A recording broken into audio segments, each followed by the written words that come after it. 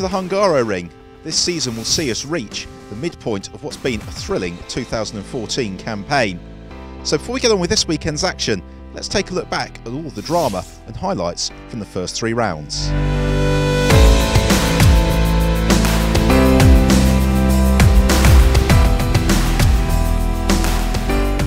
The Euro Formula Open season started at the Nürburgring with the teenage sensation Alex Palou who led away as behind Chaewon Lim and others got involved in first corner antics.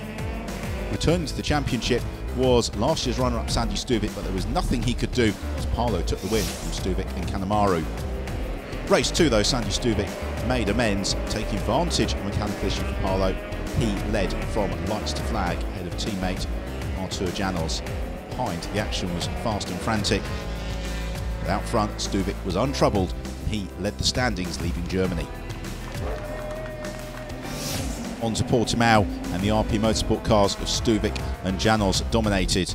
As behind, there was plenty of action. Yarin Stern, an early retiree, one of many.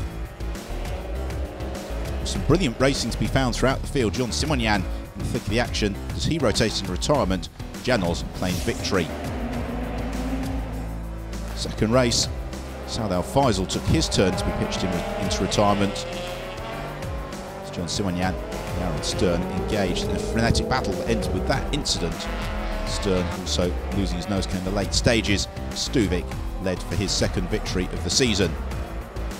In Jerez, that became wins three and four as Stuvik became the first driver in 2014 to do the double. Once more, it was Stuvik and Janosz who dominated the weekend and once more, John Simonian was an early spinner in race one. Also flying was Gerardo Nieto, and he to move up through the field until that off-track excursion. Also flying were the Campos cars of Alex Palou, Konstantin Tereshchenko and Sean Walkinshaw moved those sufficient to give Palou fourth in race one. So it was victory for Stuvik Artur Janosz in second place and Yarin Stern completed the rostrum. On to race two, and it initially looked like we are going to get a different result as Artur Janosz led away from pole. Over defensive manoeuvre off the line saw him being awarded a drive-through penalty. Behind William Barbosa was an early casualty, as almost was Sean Walkinshaw. To defend his place, teammate Tereshchenko tagged him. Thus Pola was flying up through the field as was Janosz, recovering from that drive through penalty until that spin led to contact with Tanat and Thirikal, both of them retiring, leaving Stuvik to win from Alex Palou and Yarin Stern. So Stuvik leads the way.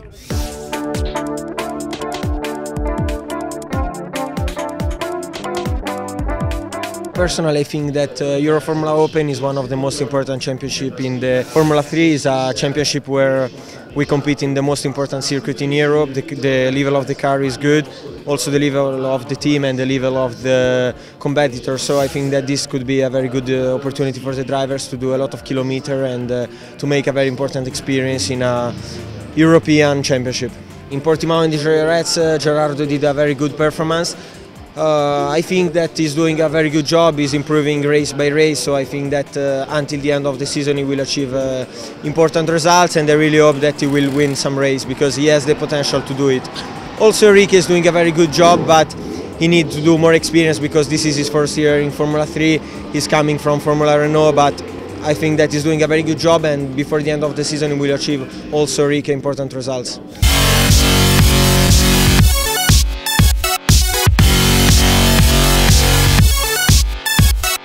The drama-filled race one from the Euro Formula Open drivers. Artur Janosz, though, made a good start from pole position but was pressurised by Alex Palou and Sandy Stuvik into the first corner.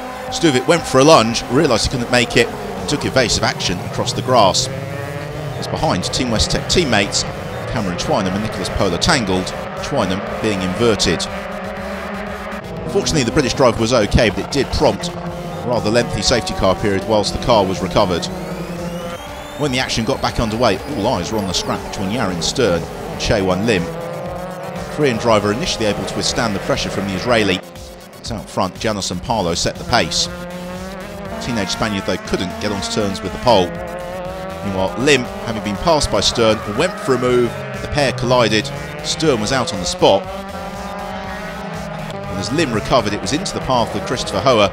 The pair of them then locking wheels coming out of turn one crunching into the Armco barrier. Both of them out on the spot. Enrique Baptista was having a super race in the DAV car as he and Yu Kanamaru battled wheel to wheel. For Artur Janosz though, it was a perfect day. Pole position, fastest lap, and then race victory, his second triumph of the season as he closes back in on Sandy Stuvik at the top of the standings. It's a celebration for RP Motorsport.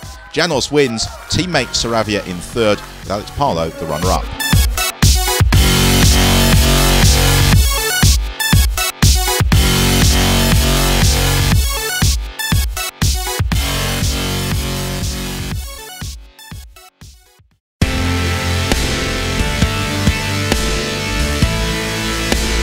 Excellent, excellent, really great. The base was really good, very warm inside, but I did it and it was really safe race. I say home track because the nearest of my home, so I'm really happy that I win here. We finished second today, another time. We're still working for the win. We need the win to be competing in the championship and nothing. We will keep working until the last day for win. In the first lap uh, before the safety car, I were trying to be like Arthur and I make the mistake in the last corner. Then he give me 10 meters or something and then I could, I can't uh, win that 10 meters.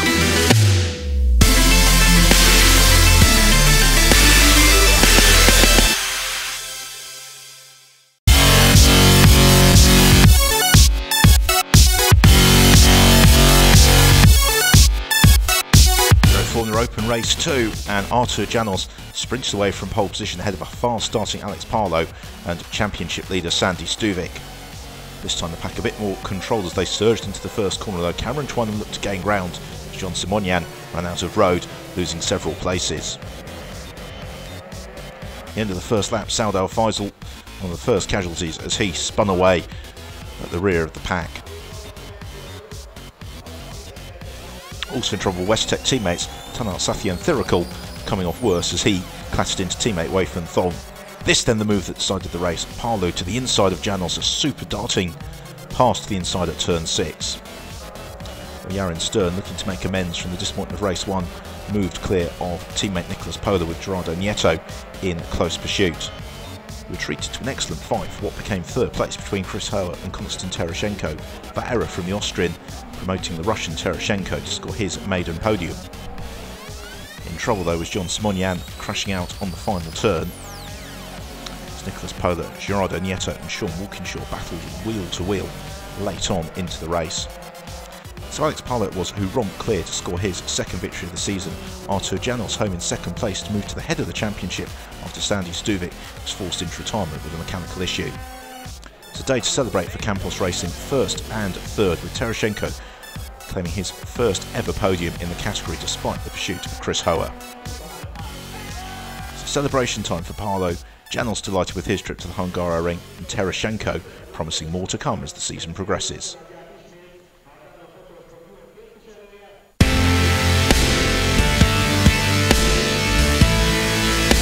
It's perfect. We start third.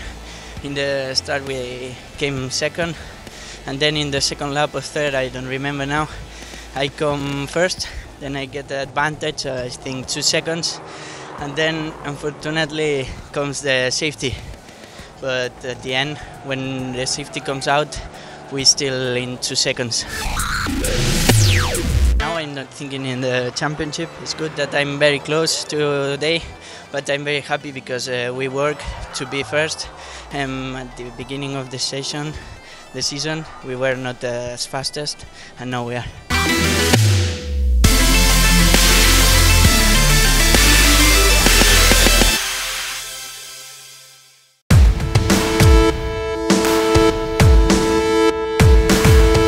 Two excellent races there in the Euro Formula Open. Artur Janosz takes the championship lead at mid-season. It couldn't be closer. Join us in a couple of weeks' time with all of the action from Silverstone.